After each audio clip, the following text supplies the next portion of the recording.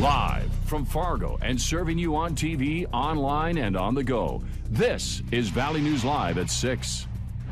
It was game on this afternoon for many kids after school got out. With no ice or snow to worry about, some decided that soccer on the basketball court was the way to have some fun. Today's 50 degree plus temps had everybody's energy level up, and it might stay that way for days to come. Hutch mentioned earlier today that we were very close to a record high temp. Hutch, did we make it? Well, we tied a record high set way back, Mike, you may remember this, 1899.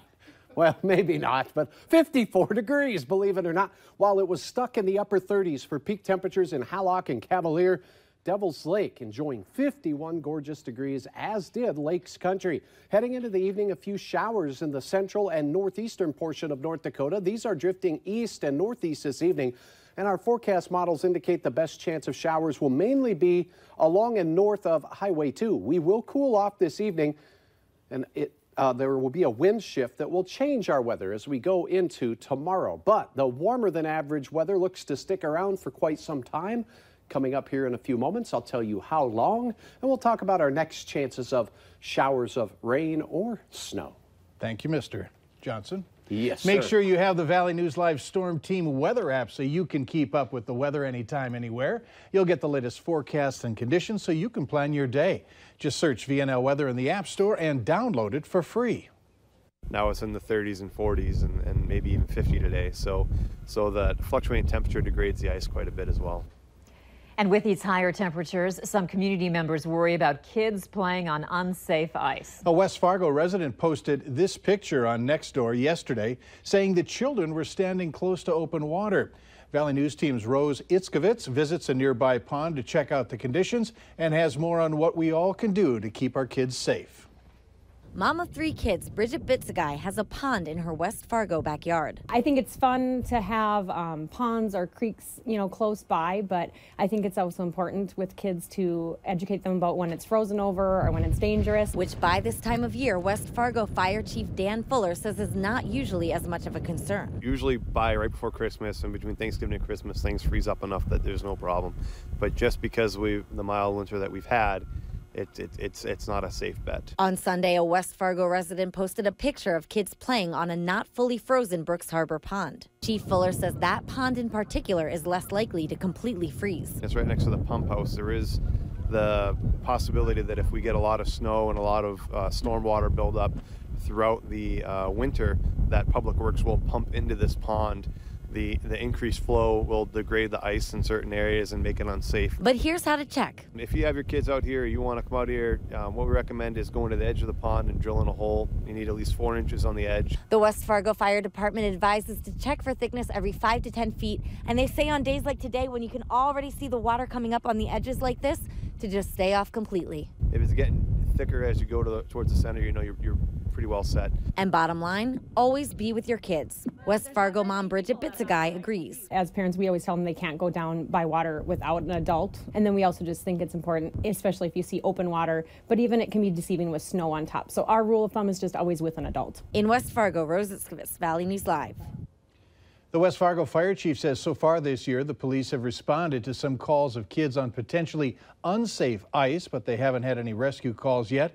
He also warns to always stay off the river where the constant flow will degrade the, the ice. The Beltrami County Sheriff's Office says the bodies of a male and a female have been recovered from Upper Red Lake in central Minnesota. Also, an ATV belonging to the two missing people has been recovered in that lake just north of Bemidji. Officers pulled the bodies out just after 3 this afternoon. The names of the victims have not been released yet, but search teams were looking for a 28-year-old man from Stacy, Minnesota, and a 30-year-old woman from Princeton, Minnesota.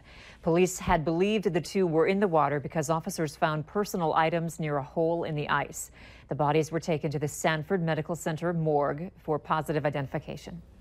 Three NDSU football players have been dismissed from the team for violating team rules. Freshman quarterback Henry Van Dellen, senior safety Darren Kelly, and freshman wide receiver Sean Engel are no longer with the team. Head coach Chris Klieman made the announcement today, but would not give any more details as to what rules the players broke.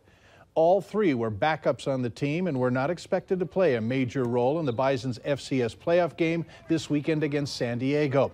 Now, backup wide receiver Dallas Freeman was suspended for this weekend's game, but will return to the team if the Bison move on in the playoffs. We're continuing to follow this story, so be sure to check valleynewslive.com for updates. Police in Grand Forks say it's the biggest drug bust in years, and it involves two UND students. The Grand Forks Narcotics Task Force had been investigating for some time a house where the students lived. Cops seized 60 pounds of weed as well as a semi-automatic rifle, 70 grand in cash, and numerous pills. The cost of the drugs is estimated at over $330,000. The two UND students from Minneapolis, 21 year old Cade Hoban and 20 year old Mark Hildahl, were arrested. They were living in a neighborhood behind the Salvation Army, north of University Avenue. Charges have been forwarded to the Grand Forks County, er, Grand Forks, rather, state's attorney. A man is facing multiple charges after a following in a police chase in Becker County, Minnesota. Started Friday when an officer tried to make a stop on County Road 21. That's just south of the White Earth Reservation. The chase ended about six miles east of White Earth when the suspect took off and ran into the woods. A canine unit tracked down the driver who was more than six miles away. Cody Eaglefeather was arrested and a search of his vehicle turned up about five pounds of marijuana and drug paraphernalia. Eaglefeather is being held in the Becker County Jail on charges of fleeing and drug possession with intent to sell. Two people are facing charges after shots were fired and a South Fargo neighborhood was put on lockdown overnight. Police arrested 31 year old Jessica Christensen of Fargo and 31 year old James Parks of Barnesville. Christensen was arrested for obstruction of a government function, Parks for aggravated reckless endangerment and firearm possession by a felon. Police were called to the apartment building just east of University Drive on 35th Avenue South after gunshots were heard late last night. No one was hurt. Officers found multiple bullet holes at the scene. SWAT was called in to assist, and nearby apartments were evacuated for a few hours. A Fargo businessman allegedly a part of a prostitution sting in June of last year will spend no more time in jail. A judge this morning sentencing Dan Duer to 30 days with all but one day suspended. He was given credit for a day he already spent locked up. He must also complete a state program on the impact of sex trafficking and be on probation for a year. Duerr was one of 18 men arrested in Fargo Moorhead during Operation Guardian Angel. That's a federal operation involving people trying to buy sex from juveniles. Later on Valley News Live at 6, we've seen the buildup here in the Valley where others in North Dakota are looking to make it big brewing beer. Up next, an old scam is new again. Details on how the bad guys are after your money.